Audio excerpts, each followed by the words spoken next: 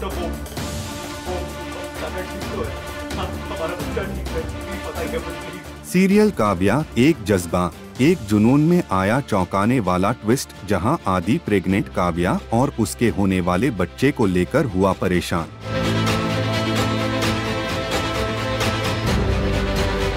जी हाँ दरअसल सीरियल काव्या, एक जज्बा, एक जुनून की कहानी में आप देखेंगे कि कैसे काव्या हॉस्पिटल में एडमिट होती है और उसकी हालत खराब है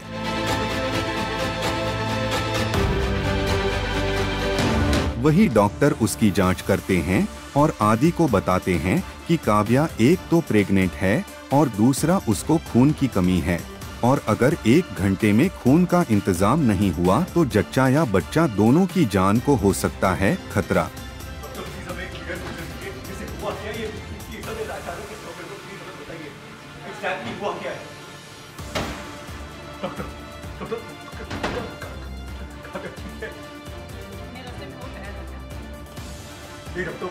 ये बात सुनकर आदि होता है शॉक और वो डॉक्टर से कहता है कि आप कृपया काव्या का इलाज करें मैं खून की व्यवस्था करता हूँ।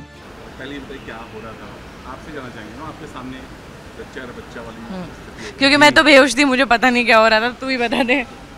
क्या कर रहा है? I think Kavya being Kavya वो अपने एक काम को लेके कोई भी कॉम्प्रोमाइज़ नहीं करेगी चाहे वो प्रेग्नेंट हो या ना हो। एंड आई थिंक यही आदि और उसके बीच एक सोर पॉइंट है कि वो चाहता है कि वो आराम करे।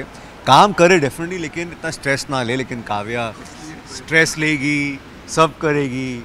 एंड जो भी आदि बोल रहा है वो नहीं करेगी। क्योंकि आदि सही नहीं बोल रहा है जो बोल रहा है। सही बोल रहा है। नहीं बोल रहा है। Look after yourself and also work you are just working looking after yourself No, Kavya is looking after herself. Because Adi is forcing Hey, no. Yeah. No. I don't agree with that. सीढ़ी पे क्यों चढ़ी हाँ?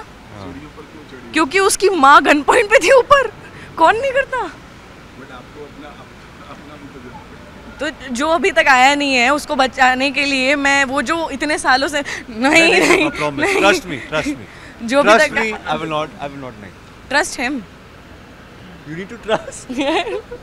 I'll just keep my hand no, here. I will not. I not. Trust me, Samir.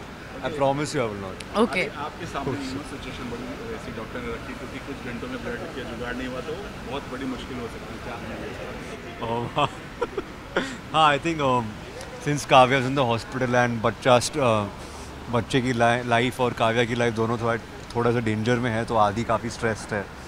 And doctor कहती है इसे blood की ज़रूरत है एंड कुछ हो रहा होता है इसकी वजह से ब्लड अवेलेबल नहीं होता। तो बस आदि कैसे ब्लड लाएगा काव्या को बचाएगा यही आगे का है। आदि ऐसे अपनी कलाई काटेगा, वो ले नो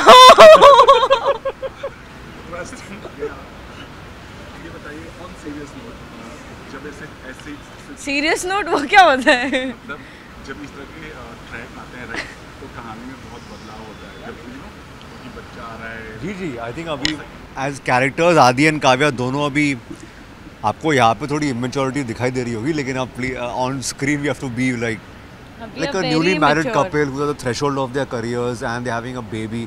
वो रेडी है कि नहीं? वो तो कश्मकश है that has to come out and we are very जिस तरह से हमें प्ले करना है वो बहुत ही लाइक like, बहुत ही डीप लेवल में हम प्ले कर रहे हैं एंड जो हमारे राइटर्स है जो हमारे प्रोड्यूसर है डायरेक्टर है वो ऐसे ही हमें इसे हल्के में नहीं छोड़ रहे हम। दे बहुत इसमें ध्यान दिया जा रहा है कि कैसे एक जितना रियल लगे we are trying to do that so या थोड़ा मेच्योर होंगे थोड़ा जी। और लुक में कुछ एग्जैक्टली हाँ लुक में नहीं। We are we are young like we are a twenty six year old couple who is having a baby तो बहुत लुक तो वही रहेगा ना। तो सफ़ेद बाल आ जाएँगे ऐसा कुछ थोड़ी ना होगा। अभी क्या चल रहा था? ये मैं थोड़ा ये अभी वही काम का सीन है जहाँ पे um, जो भी ऑन गोइंग ड्रामा है उसका एक कंक्लूजन हो रहा है कि कौन सही है कौन गलत है वही है। बाइट वेल अब सीरियल में आए, इस ट्विस्ट के बाद कहानी में आएगा कौन सा नया मोड़ ये देखना दिलचस्प होगा।